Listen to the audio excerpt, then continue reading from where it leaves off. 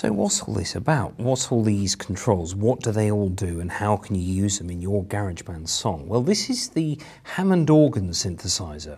Uh, the Hammond organ was produced from 1935 until 1974 and it was essentially a mainstay of the rock and pop industry, although it didn't start out that way.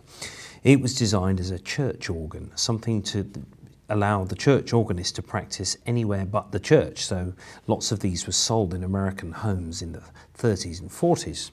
So what we've got here is a load of drawbars, that's what they're called, and these are akin to organ stops. So that means when they're pushed all the way in, the sound is off.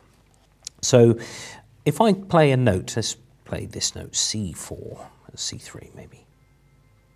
You can still hear things in the background. You can hear the, a, a very faint sound.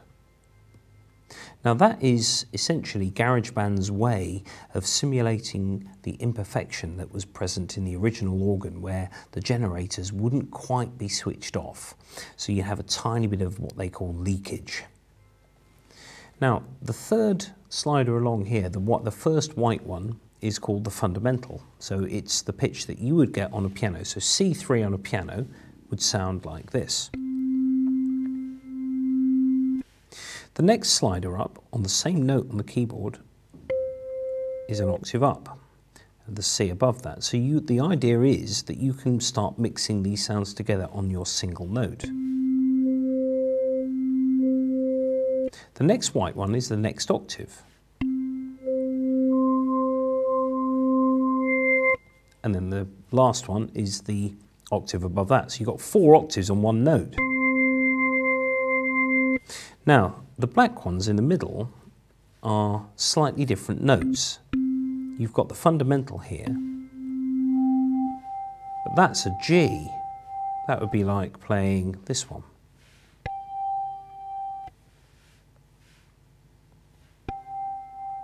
The idea is that all of these notes are in what's called the harmonic series, which is how sounds are made up.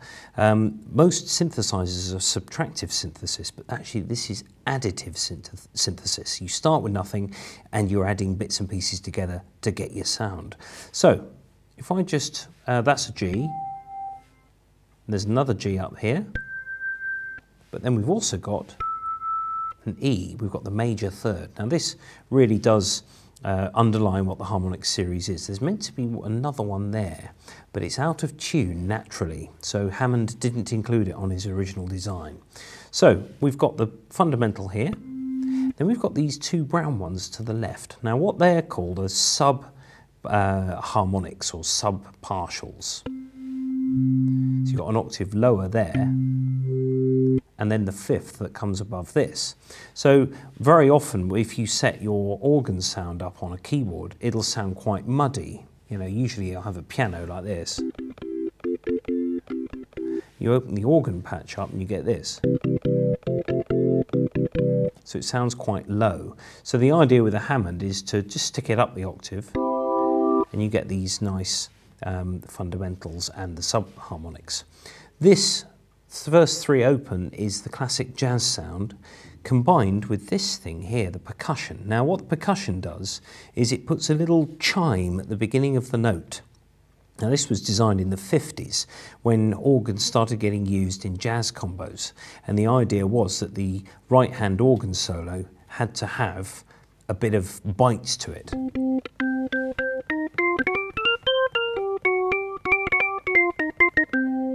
That's what that is. So third harmonic means you get this. So it's basically this note. It's the third harmonic above your fundamental.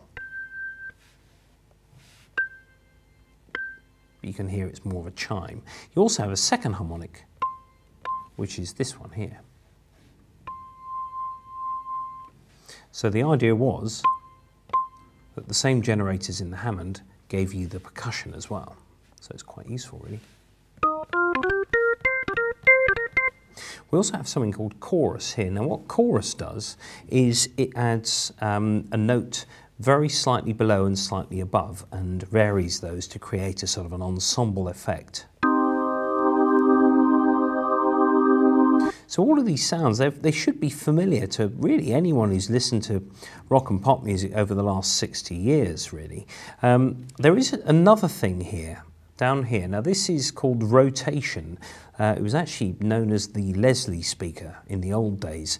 Um, Hammond made his organ, made a speaker system to go with it, and then one guy decided he'd buy one of these Hammond organs, but he didn't buy the speaker because he thought he could make his own and make it better. And actually, it was came became the choice. And that man's name was Don Leslie, and he came up with something that would throw the sound around the room. Hence these little trumpets up here.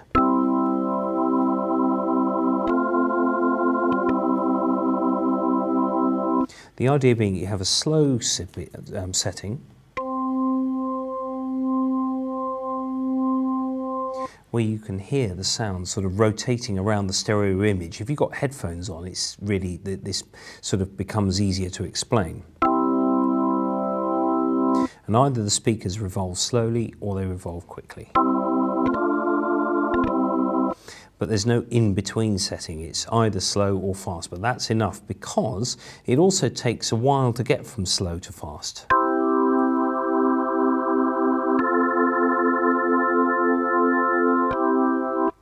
Down again. So it's actually pretty true to the original, which was motors and belts and all that sort of thing, which is why it takes a while to speed up and slow down. So there you are. There is your Hammond organ sort of um, setup. Now, when you're recording with this, your best bet is to get the drawbar settings right in real time, not necessarily the notes, because you can't adjust these afterwards as you can on maybe Logic Pro X or you know the professional software where you can tweak drawbar settings. GarageBand will store them, they will store these settings and also the fast and slow rotation and the chorus on and off. Most of it is stored, it's just the, the fact that you can't change them afterwards and I'll demonstrate that now.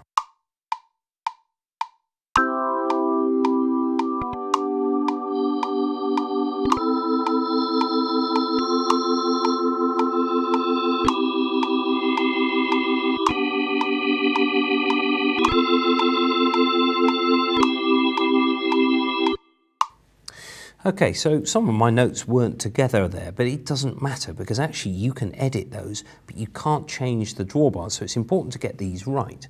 So if I just listen to that, you should see the drawbars moving.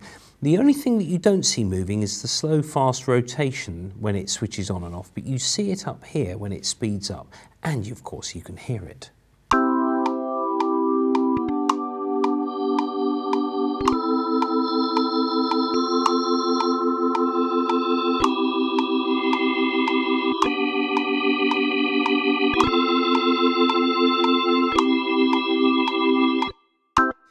If I click edit on here, you can see all of the notes, but at the bottom you see something called rotation, and there it is. So,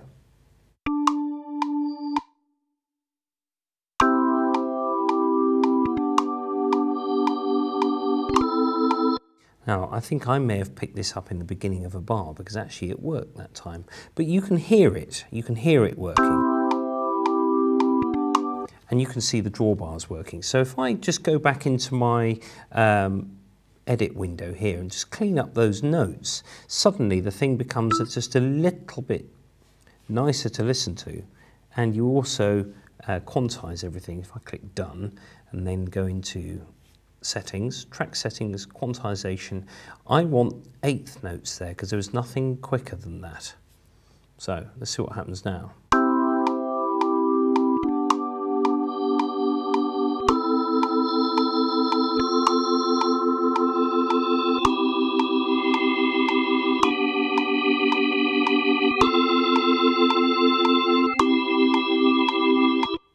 Now that's quite loud at the moment. Ideally, in a track, you want the Hammond quite low. So if I just um, find an instrument, I'm not going to play the drums in, I'm just going to get um, a drummer in instead. There we go.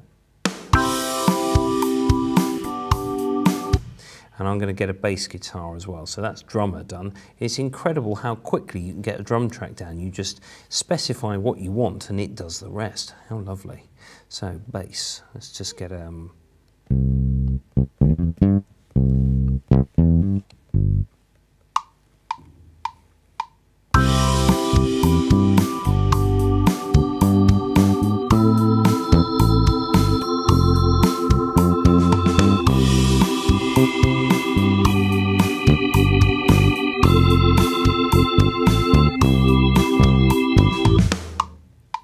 Okay, so there's my mix, there's my bass, my drums and my Hammond organ. So ideally I'd want the bass and the drums to be working together with the Hammond a little bit lower.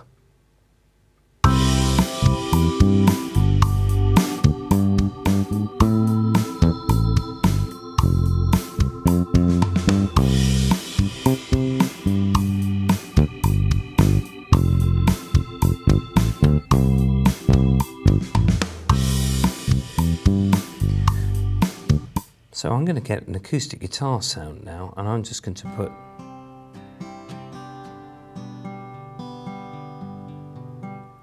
and play that with it and then mix that Hammond in.